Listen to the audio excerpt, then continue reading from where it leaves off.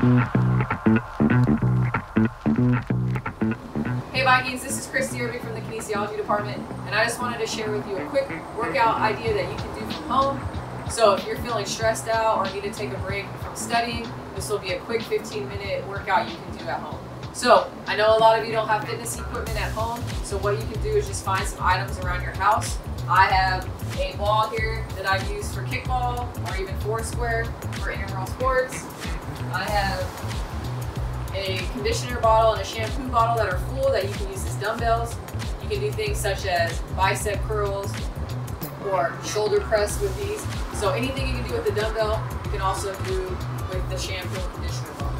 And then I also here have a towel that I've just placed on the ground in case I want to do any activities where I need to lay down. So how this workout works is you're going to pick five activities that you like to do.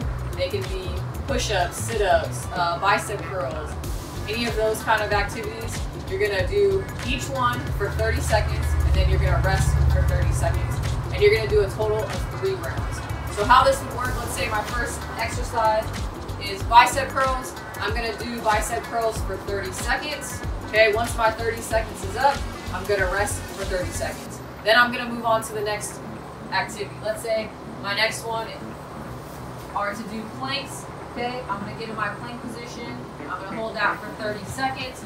Once my 30 seconds is up, I'm gonna rest for 30 seconds. And then I'm gonna continue to do that until I've done all five of the activities that I've chosen.